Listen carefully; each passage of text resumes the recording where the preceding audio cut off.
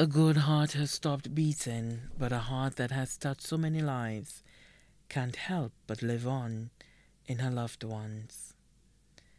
It is with great sorrow and heavy hearts that we announce the passing of a beloved daughter, sister, aunt, godmother, and friend, Celestine Moise, affectionately known to her nieces and nephews as Nenen.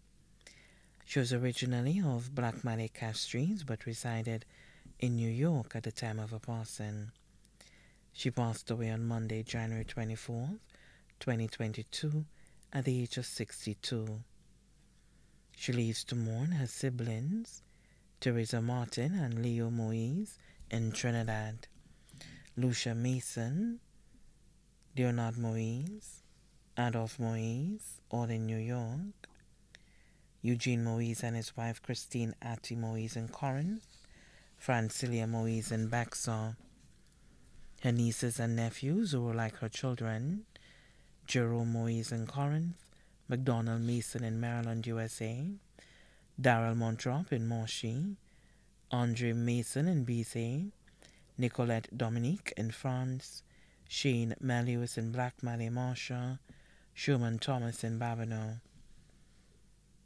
Shergan Thomas in Tria, Daniel Moise in Trinidad, Anthony Paul in Dominica, Jacqueline Melius, who was also her goddaughter in Black Mallet, Sylvie Melius in Black Mallet, Lalsha Moise in New York, Jade Mason Moore, in New Jersey, Carla Moise in Dominica, Tasha Moise in England, Cordell Thomas in Goodlands, Joanna Moise in Trinidad, one aunt, Olive Joseph and family of Mondador.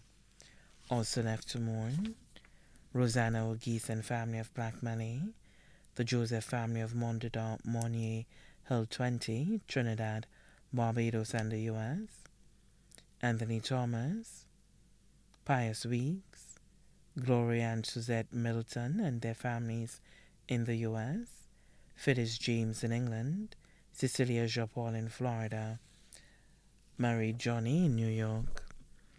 The celebration of life of our beloved daughter, sister, aunt, godmother, and friend, Celestine Moise, affectionately known as Nenen, will be held at the Sacred Heart Roman Catholic Church in Marcia on Monday, February 28, 2022 at 2.30 p.m.